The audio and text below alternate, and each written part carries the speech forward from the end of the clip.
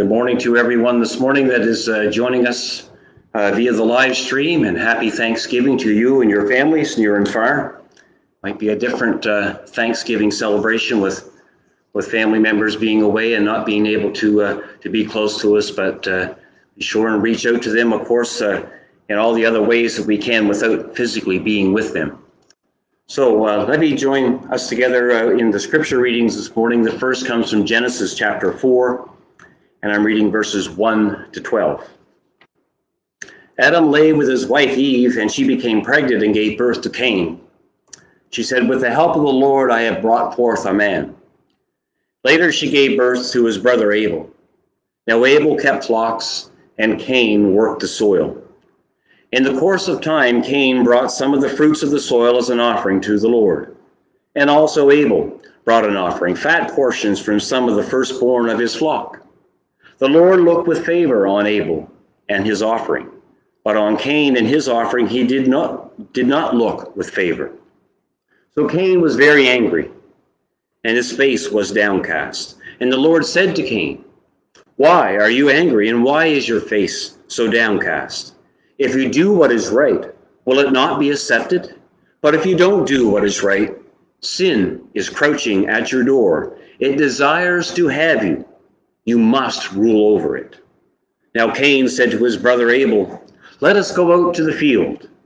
While they were there in the field, Cain attacked his brother Abel and killed him. Then the Lord said to Cain, Where is your brother Abel? I don't know, he replied. Am I my brother's keeper? The Lord said, What have you done? Listen, your brother's blood cries out to me from the ground. Now you are under a curse and driven from the ground, which opened its mouth to receive your brother's blood from your hand. When you work the ground, it will no longer yield its crops for you. You will be a reckless wanderer, wandering the earth. In Matthew chapter 6, I'm reading some selected verses, the first four verses, and then verses 19 to 23. Jesus says, Be careful not to practice your righteousness in front of others to be seen by them. If you do, you will have no reward from your Father in heaven. So when you give to the needy, do not announce it with trumpets, as the hypocrites do in the synagogues and on the streets, so that they are honored by others. Truly, I tell you, they have received their reward in full. But when you give to the needy, do not let your left hand know what your right hand is doing, so that your giving may be in secret. Then your Father, who sees what is done in, in secret, will reward you. And in verses 19 to 23 from the same chapter, Jesus says, Do not store up for yourselves treasures on earth where moths and vermin destroy, and where thieves break in and steal but store up for yourselves treasures in heaven where moths and vermin do not destroy, where thieves do not break in. For where your treasure is, there your heart will be also. The eye of the lamp is, the eye is the lamp of the body. If your eyes are healthy, your whole body will be full of light. But if your eyes are unhealthy, your whole body will be full of darkness. If then the light within you is darkness, how great is that darkness. No one can serve two masters. Either you will hate one and love the other, or you'll be devoted to one and despise the other. You cannot serve both God and money. Let's give thanks to God for his word. Heavenly Father, we thank you for your word, how you teach us and instruct us, and we pray, Lord, your, your blessing upon the message this morning, that you would write it upon our hearts through your spirit. We pray in Jesus' name. Amen. This is Thanksgiving weekend, I know, and I do have a Thanksgiving message, all right, but the scripture readings, of course, may have thrown you off a bit, especially the, the one from the Old Testament book of Genesis. I just read of the birth of the first sons of the earth and what happened as, as they had become adults. We witnessed the first murder. The names of the first boys were Cain and Abel. Now, you know how a, a name is often given a meaning, or there's a meaning behind a person's name. Well, the Hebrew language, of course, did the same kind of thing. And it's interesting to learn that what Cain and Abel's names actually mean. For Cain, the one who murders his brother, his name means to gather or to possess. And Abel's name, it means breath or life.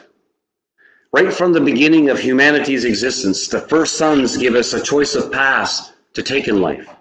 We can either gather and collect, we can amass stuff, or we can be controlled by that or choose life. Now, you can say we can have it both ways, and there's certainly an argument for that. But if you're talking about this life, this short period of time in which we, we live these mortal lives, but the Word of God teaches us that there's more to life than this life. And this point, uh, this points us to the life or breath that Abel's name speaks of.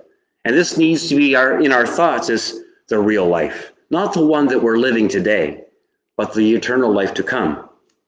So in chapter 4 of Genesis, we have Cain, who got offended. And God showed some favor to Abel's sacrifice. Cain turns around and he murders his own brother. Now, prior to this, God warns Cain. He sees Cain's discontentment. Cain has lots of stuff, but because he doesn't have all that he wanted, and as far as we know, the thing that he didn't have was he didn't have this favor from God that, that his brother had. So he decides to go his own way and he kills his brother. God had warned Cain about his anger, his emotions. God could see it. And he says, Why are you angry? Why is your face downcast? Maybe in today's day and age, it's like you have everything you need. Why the discontentment? If you do what is right, won't you be accepted? The Lord tells Cain that sin is, is approaching at his door. It wants to have him. And God told him he, he must overrule it. This sin of Cain is what he wanted that he didn't possess. He wanted the favor of God that his brother had received, and wanting something that someone else has, well, that's coveting. It's the 10th commandment. And it's our breaking of this 10th commandment that has us breaking all the rest of them. We will lie and we will steal we will cheat, we will hurt others so we can get what we want.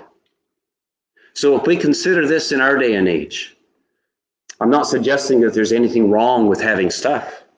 We need a certain amount of stuff to sustain our daily lives, that we know. But for most of us, has all of this acquiring of possessions have us being more grateful to God? No one would agree with that.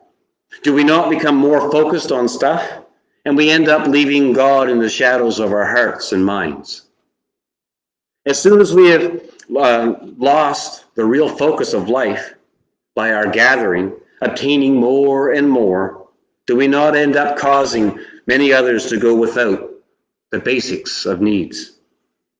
We took a, take a look around our communities and farther out into the world, especially in places on earth where there is no extras.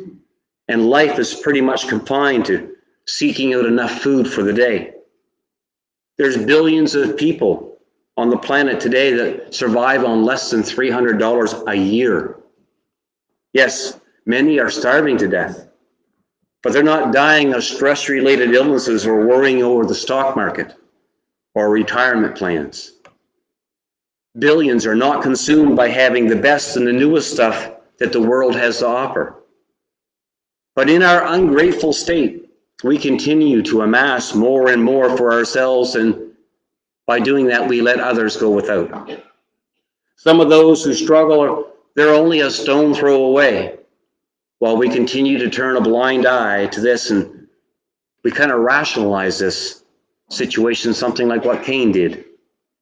Once Cain was busted for the murder of his brother, and God questions him on it.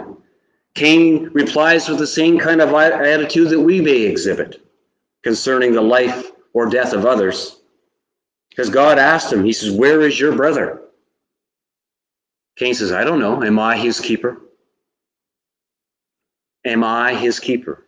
So for us as believers, do you not think that the blood of the innocent, the lives lost to our greed, and the lives of more than plenty Will not their deaths scream out to the Lord? Why haven't they helped? Why do they not help us? So what happened to Cain? He was put under a curse. the scriptures tell us. It says that he would be a restless wanderer on the earth. And here we are living in the western part of the world, the land of plenty. And most of us, we live very well. We may not have all that we want, but we certainly, for the most part, we have more than we need. And I feel that the more that we have, the more that we want. It's like we're under the same curse, being a restless wanderer, always unsatisfied with what we have, and we're always searching for more and more.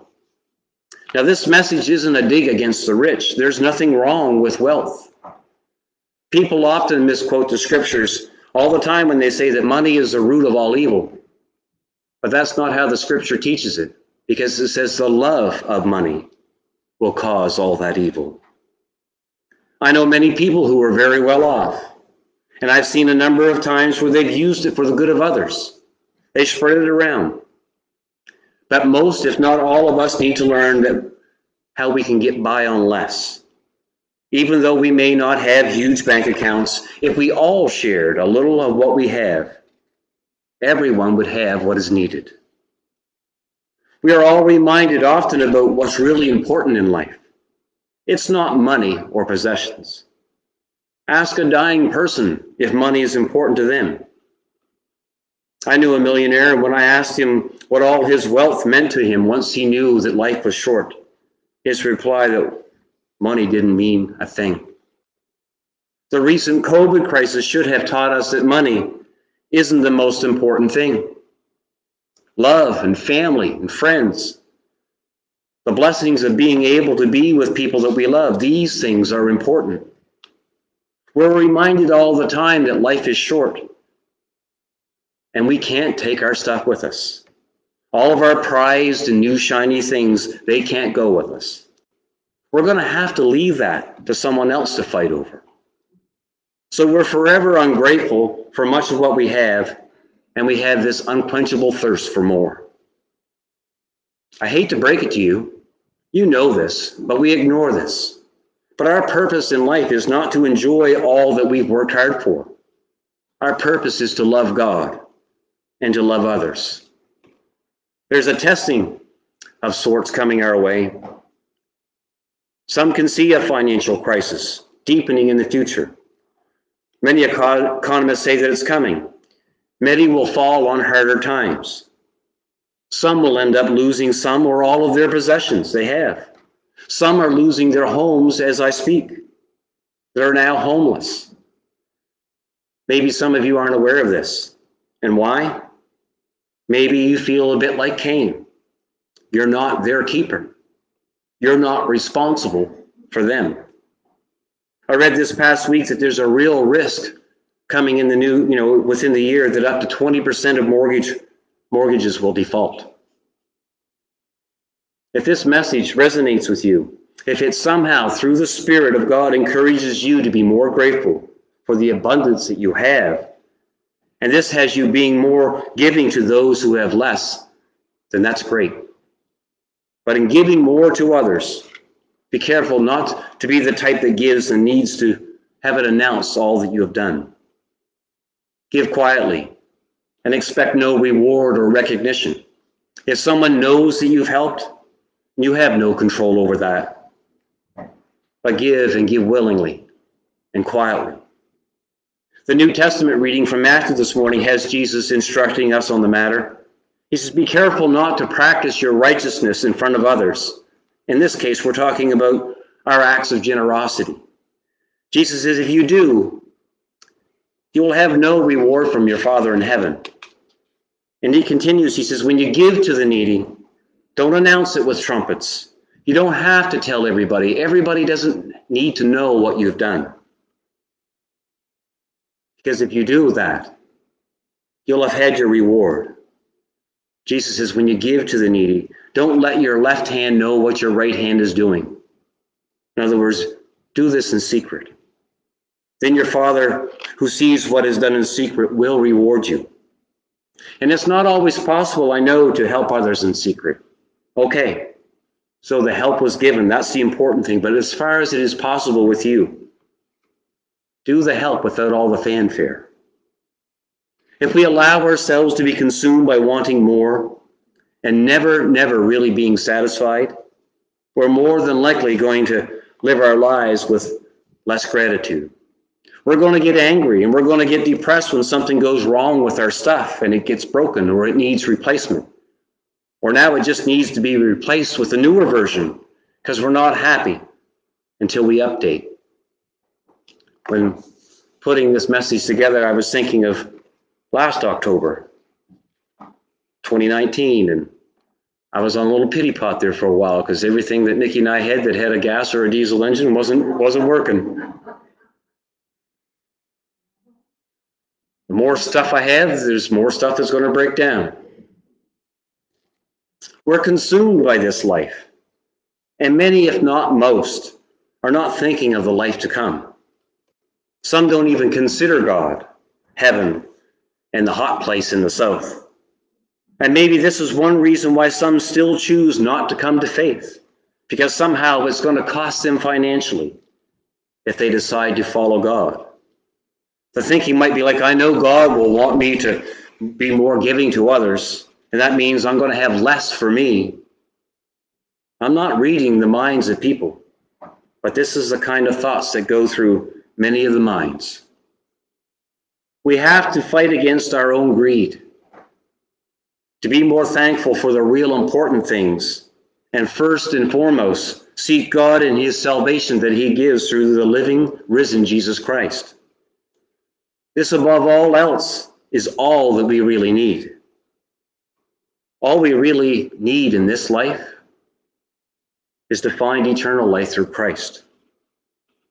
Later in the chapter that I shared from Matthew, chapter 6, Jesus says, Don't store up for yourselves treasures on earth. Because all these things will disappear. They can be stolen, they can rust out. But he says to store up for ourselves things in heaven. It can't be stolen, it won't wear out, it's eternal. He says, For where your treasure is, that's where your heart also resides. Where are our treasures? Are they here on earth or are they stored for us in heaven?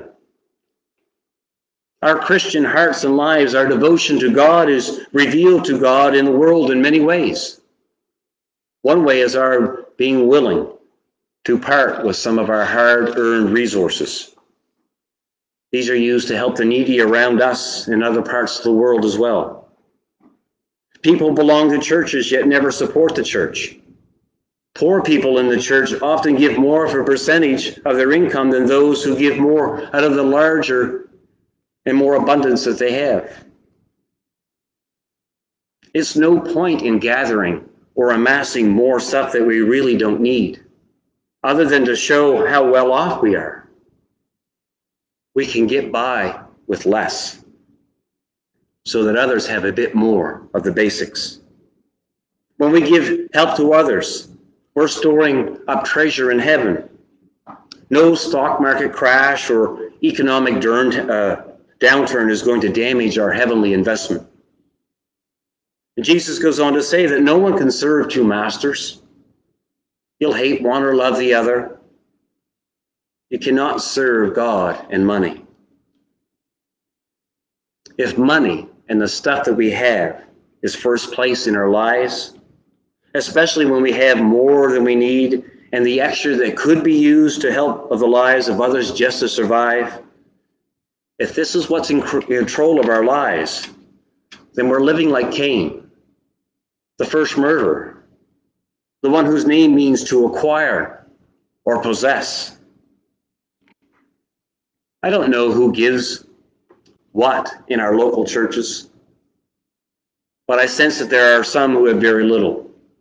They're the ones that devote to their offerings. What would churches or other uh, charitable entities look like? What would they look like? And that work that they do to serve others and help others, what would they look like or how would they be better able to help others if they didn't need to struggle so much with their own finances? If people who had more than enough in those same communities parted with some of what they had, we could have a safer and healthier and more grateful souls in our communities. Are we truly thankful to God for all that He's done? If we take money out of the conversation, are we in deep enough with God to be aware, even slightly aware of how good we have it? Now, to be honest, I wouldn't want to be homeless. I wouldn't want to be starving, but I would hope that I would choose to be homeless or starving if it meant me having my eternal life lost. Do we consider do we consider Jesus Christ and what Jesus has already come to pay for our sins so that we can have life? That eternal life in heaven to look forward to. Because no matter how little we have, if we're thankful to God for what He has given us through Jesus Christ, then we are rich. Money won't buy us eternal life. There's no price that can pay for our entrance to heaven, not in monetary value. This is Thanksgiving weekend. And we're likely to say, as we have already had, Happy Thanksgiving to someone, and they'll wish us the same. But I've always marveled, and I know many of you do too, strange that we need a day of the year to remind us to be thankful. I know many who listen today and many more, they struggle with all kinds of burdens.